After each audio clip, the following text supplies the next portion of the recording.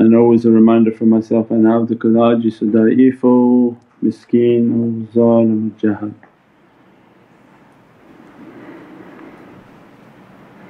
But for the grace of Allah that we are still in existence, inshaAllah.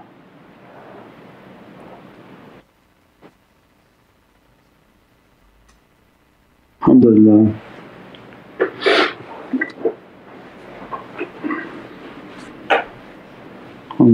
Always a reminder for myself that we took a path in which to be nothing and testing comes to remind you to be nothing. And the holy month of Shawwal is uh, the reality of the binary code and as much as we speak about it, as much as the thought can go deeper, the thought that comes from the heart not the mind. That our existence is based on the understanding and the depth of understanding in the binary code. As much as we can learn in our lives to be off, as much as we can receive the Divine grace which is uh, an eternal on factor. That eternal grace and Allah's qudras and energy and uh, emanations, whatever words people want to associate with the Divinely emanations, the best way of receiving those emanations is in the state of the servant learning to be off. And off is in many aspects of our life from ourselves, our families, our, our family relationship, community relationship, work relationships. Everything around us gives us a testing in which how to learn to be off. So this is a, a given in our lives. When we learn to be off through the path of humility then Allah's Divinely grace dresses and grants the hijrah for that servant because you have a whole year of this practicing to be off. Means Allah gives you the ability to answer back. You know oppression they don't have hand nor mouth to say anything. So they are forced into humility but one whom has. Assalamu alaikum wa rahmatullahi wa barakatuh. This is Shaykh Nurjan. Thank you for watching the video that you're watching. Inshallah if you're happy with the content and happy with these programs please support the button below the programs that we have for our orphanage repairs, our water well, Give the Gift of Life, our mobile food vans. We have now five vans Vancouver, Chicago, Los Angeles, Pakistan. There's many programs that reach thousands of people and rescue foods and give those supplies to people in need. Your support is greatly appreciated. Also, be so kind as to leave uh, loving comments and please share the stream. Every bit counts. Assalamu alaikum wa rahmatullahi wa barakatuh. Both hand and mouth to reply back but chooses to refrain and chooses to submit then is granted these oceans of humility. And that becomes the difference when people are wondering about oppression and, and usually the, the, the weekend child and weekend women start to text and email, what about you know I'm, I'm being oppressed. Oppression is something different. The oppression and the du'a of an oppressed servant is granted relief by Allah that's a given. But having the ability to say something and do something back but choosing for the sake of Allah and the sake of Sayyidina Muhammad not to. And that becomes the, the reality of this binary code. The Shawwal reminds us that right after being effaced and everything burned down like dust from the Divinely power of Ramadan because the nafs and, and all the evilness that we see or we don't see is burned with Ramadan. uh, sun baked. Ramadan actually I think means something that baked in the sun. And it's us that's baking that Allah washes us, cleanses us by Ramadan and that only by Allah's grace because I'm going to give you that no Prophet, no angel has seen and what's the best that Allah can give to us is to be washed and to be cleansed so that we are receptacle of that Divinely grace and Divinely lights and, and Divinely stations. By these lights and grace is how everyone is elevated. When we talk about vibration, the vibration means that Allah's grace, God's grace has to be on the servant that they're being lifted, they're being elevated, the vibrations are being raised, the frequency of their light and their soul is being raised. And that's only by turning off. And that path of turning off is then that teaching of humility in which Allah wants from the servant that don't use your mouth when you have even the ability. Because it's not a sign that you're, you're incapable of answering therefore you stay silent. But you're very capable of answering and using your mouth back. And that's the one that Allah wants that that one to stay quiet because you're capable of using your mouth, don't use it now. So there's a big difference in someone who's not capable, they are just oppressed. They have to take the oppression and they no have no, no financial, physical or any capability. And in the face of that, that's clear oppression against an aggressor. And everything else in our life is then a testing from Allah in the face of someone's aggression is that to remain silent so that to reach Allah's satisfaction that whether by your physical ability you don't use it, whether by your verbal eloquence don't use it. And as a result they learn the system of shutting down. If we can shut down then Allah grants the servant more lights, more energies so that they can complete that year's hijrah.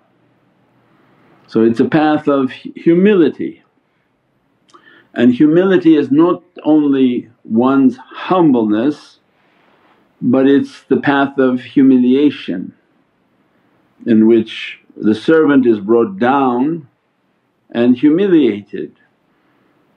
And for the sake of Allah and the sake of Sayyidina Muhammad then Allah dressed the servant and blessed the servant.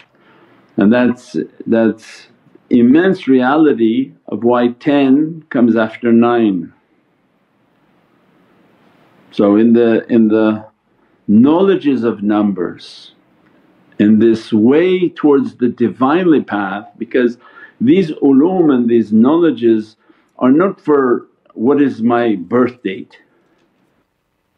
Because we said the door of this reality and this gate of knowledges is you don't exist. So in this world the, the, the man that has no name, no existence, you took a path in which to be no one.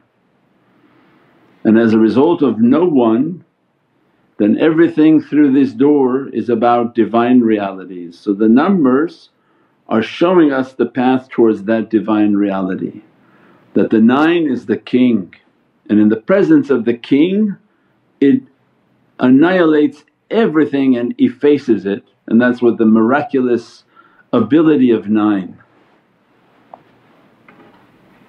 The reality of 10 shows us that now that you're nuqt because we don't write the zero in the Arabic we write the one with a nuqt. The 9 turned you to a nuqt, to a dot. 9 has the secret of annihilation. As a result of being a nuqt Allah brings us into the presence of 10 that now you're a nuqt, you're in the presence of 1. If you can remember in your life's path to take this path of effacing that every time a test comes because people think that there's going to be like a, a, message sent to them that we're going to be effacing you now, prepare. And it's not like it's a lifelong process that every time you have the ability to use your mouth, don't use it. For the sake of Allah and Sayyidina Muhammad if you have the ability to use your hand, don't use it. If you have the ability to use your, your, your authority, don't use it. And as a result of that, that station of 10 opens, Subhana man dul arshi amma. That in the presence of this mighty one be nothing. Means that if you can use that ability against creation, no doubt then you would use that understanding in the presence of the One. But the one that cannot tame themselves for the lowest which is creation, how could they possibly tame themselves for the Divine? So then that becomes a necessary waypoint on this path. So imagine if there wasn't that reality then everybody who sought a spiritual path would begin to receive emanations and then think they're gods. And that's why these new age people like that. They do something, a jinn attached to them, they start to see something, they think they're gods, they're moving, they're divine, they're lights. They even start talking like that, I'm the divine God, I am the goddess of light, I am the sunshine, ooh, they have graphic uh, pictures uh, all, all around them. Why? Because something established within themselves and now they're in competition with the Divinely Presence and this is the pharaonic reality. So the pharaonic system of 10 is exactly that, that you must be one, you must be the one at all times. You must talk that I and what they call ananiya, I-ness. In their vocabulary everything is about, I did this, I am this, I wrote this, I accomplished this and this is the pharaonic system taught to them by their one eye because they're a group of one eyes and their whole system is based they actually do seclusion in public. So some of these magicians they do some sort of a seclusion in public. They put them in a place for 30 days and everyone can see them or they humiliate them in public. It's a public shaming and when they survive their public shaming then shaitan raises them. And this station of ananiya is then where pharaonic system and Divinely system complete opposite but they keep mirroring the Divinely path. So they understand our system and they're exact polar opposite. So Allah's servants they're told to be nothing, negate yourself, efface yourself, bring it down. Even you have the ability to talk back, say something, don't say anything. So at every point in our life with our family, our spouse, our children, our communities, our work, Allah gives us an opportunity to reach our binary reality. And as much as we practice towards creation to be nothing, then we gain a security clearance in Allah's Divinely Presence because now we're in the presence of Prophet His awliyaullah, His holy companions and Ahlul Bayt and in their presence there can be nothing but submission, taslim. So what we accomplish in the dunya opens the door for akhirah, Ex exact. Whatever is done in dunya immediately opens a reality in akhirah. So as much as the servant learns to submit and be in sujood a door is opening for them in Divinely Presence in which Allah dresses them by the One, the Divinely One. And as a result of that state of one and the continuous dress of that one which is the reality of Shawwal and the reality of moving from Shawwal to the 11th month. Because then the 11th month is then the reflection of one and one in which the one of Divinely Presence begins to reflect to the one reality of Sayyidina Muhammad and that becomes the Muhammadan dress upon the servant.